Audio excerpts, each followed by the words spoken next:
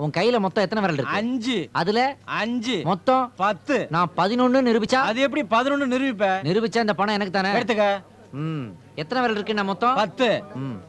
பத்து ஒன்பது எட்டு ஏழு ஆறு. இதுல மொத்தம் எவ்வளவு? ஆறு. அதுல எவ்வளவு? அஞ்சு. ஆறு அஞ்சும் பதினொன்னு. அவ்வளவுதான் முடிஞ்சு போச்சு. நம்ப மாட்டேன். இதை நான் நம்ப மாட்டேன். ரெண்டு ரூபாய் இன்னும் ஏமாத்தினால அதுதான் உனக்கு ஐம்பதாயிரம் ரூபாய் போச்சு. இது மோசடி. இது மோசடி. எது மோசடி? ஃபுல் பாயில் நாலு ரூபான்னா ஆஃப் பாயில் ரெண்டு ரூபான்னு இல்ல. அதை உடைய இது மோசடி. போட.